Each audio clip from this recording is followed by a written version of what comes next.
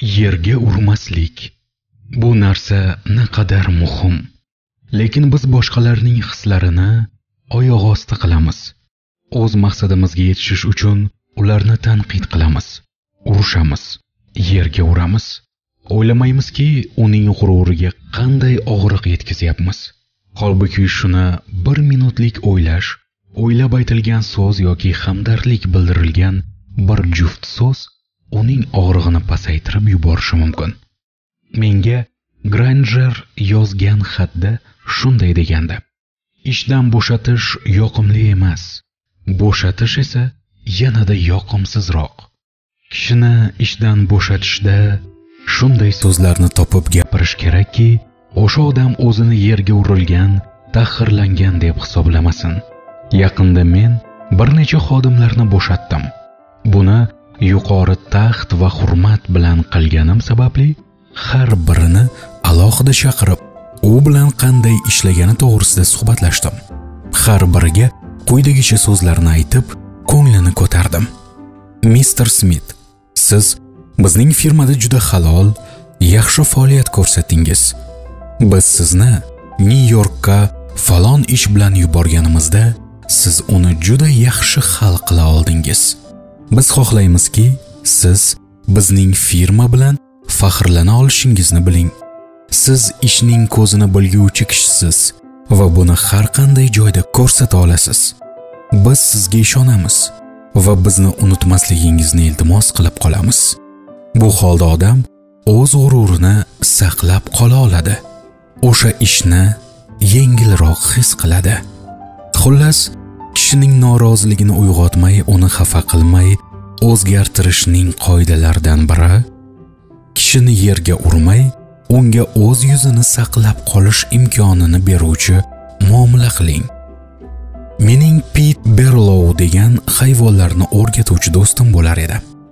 Uni bir kuni itlar bilan mashqini ko'rib shuni sezdim. Pit itlardan birortasi biron mashqni sal bo'lsada yaxshiroq qilsa uni maqtab unga go'sht berar. Bu esa ularni ijobiy tomonga o'zgartirardi. Xo'sh nima uchun bu prinsipdan biz odamlar bilan muomalada foydalanmaymiz? Nima uchun maqtamaymiz? Keling salgina muvaffaqiyat uchun maqtaylik. Bu esa yana kattaroq muvaffaqiyatlarga undaydi. Ko'p yillar oldin londonda bir bola yozuvchi bo'lishni orzu qilib yashar edi. Lekin baxtga qarshi maktabda 4 yil o'qidi. Otasini qamab qo'yishdi. Ochlik muhtojlikni boshdan kechirgan bolani sassiq bir podvalda joylashgan bankaga yorliq yopishtiruvchi lavozimiga ishga olishdi. U cherdakda tunab sassiq yerto'lada ishlardi. O'zining mashqlarini boshqalardan uyalib kechasi qutiga solardi. Ketma ket rad javoblardan so'ng bir kuni unga uning hikoyasi qabul qilingani haqida xabar keldi. U muharrir huzuridan u bir shilling bermagan bo'lsa-da xursand bo'lib chiqdi.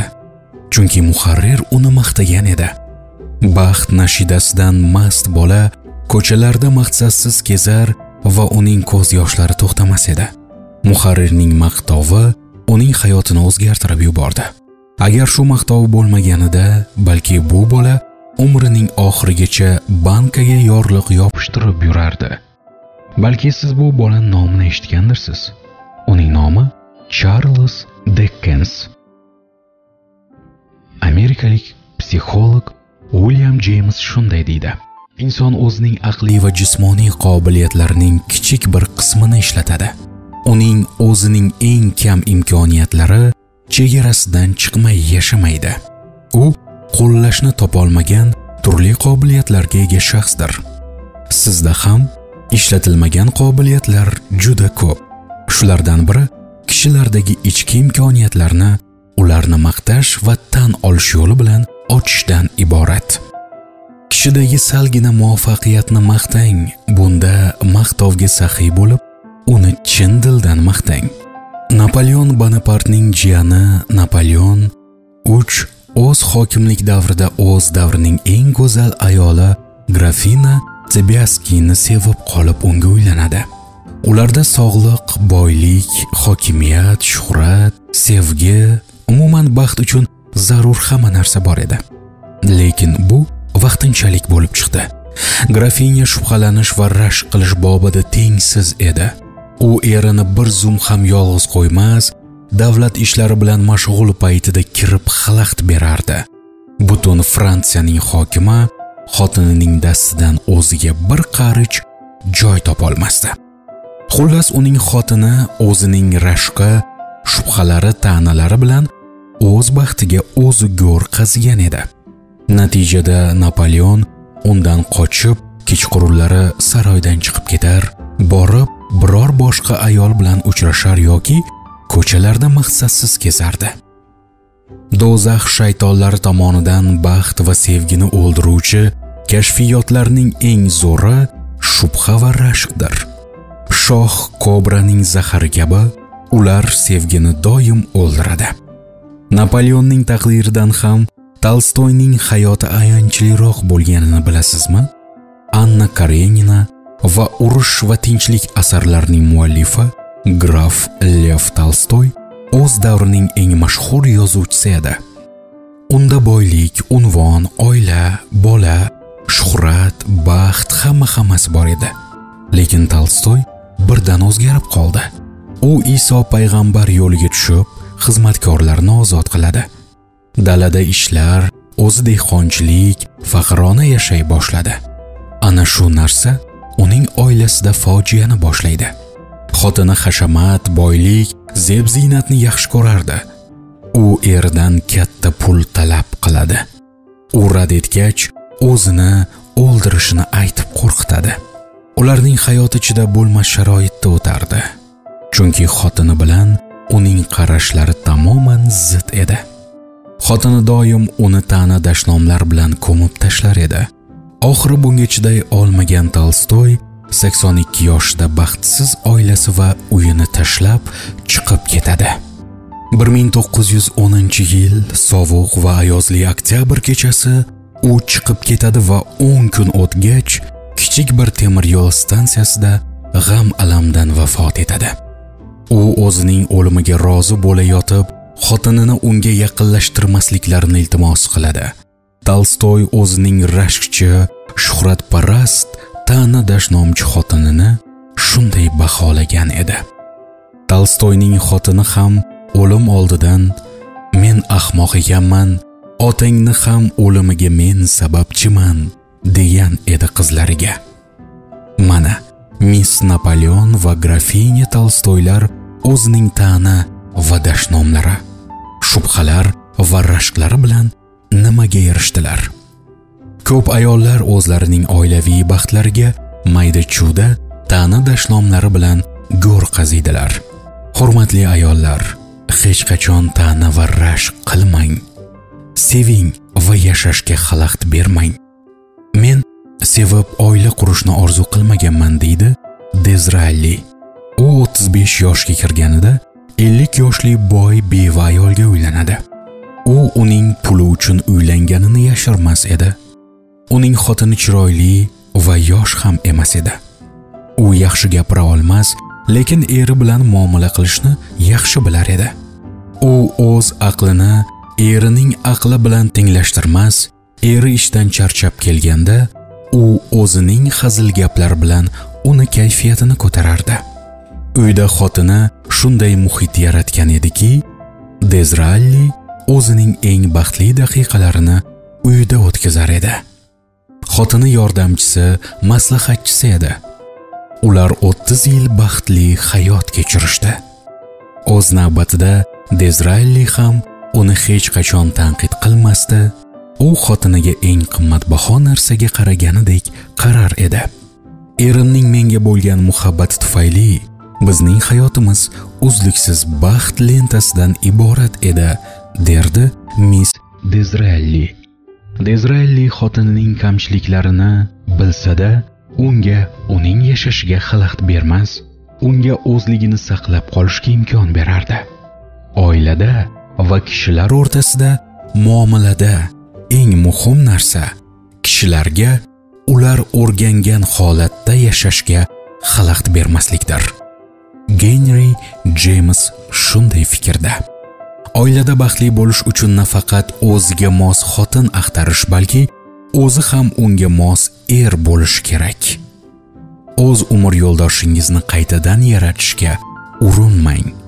Shunday qilsangiz renoga boruvchi poyezdlar jadvalini ko'rishga ko'zingiz bo'lmaydi. Dizraellining jamoat ishlarida doimiy raqibi buyuk galston edi.